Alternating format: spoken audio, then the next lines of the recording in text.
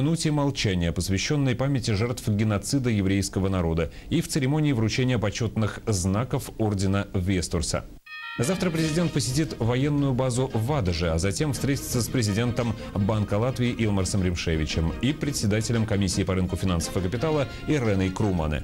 Вечером состоится прием иностранных дипломатов. В последний рабочий день в четверг президент устраивает День открытых дверей для журналистов в своей юрмальской резиденции. А в пятницу в Рижском замке Затлер торжественно передаст президентские полномочия Андресу Берзиншу, вручив ему ключи от резиденции президентов Латвии.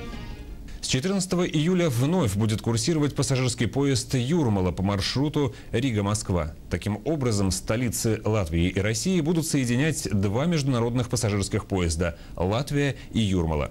По словам президента железнодорожной компании «Латвия Сдзелстельш» Удиса Магуниса, летом международными рейсами пользуется большее число пассажиров, поэтому и было решено на период до 28 августа возобновить курсирование еще одного пассажирского состава.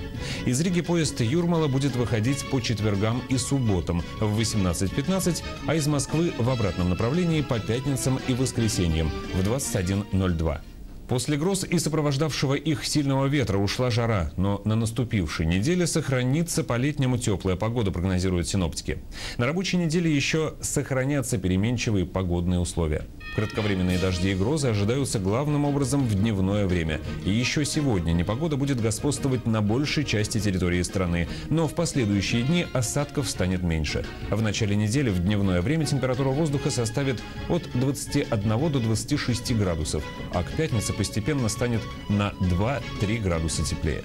На этом у меня пока все. Следующий выпуск латвийских утренних новостей выйдет в 8 утра. Хорошего вам начала дня.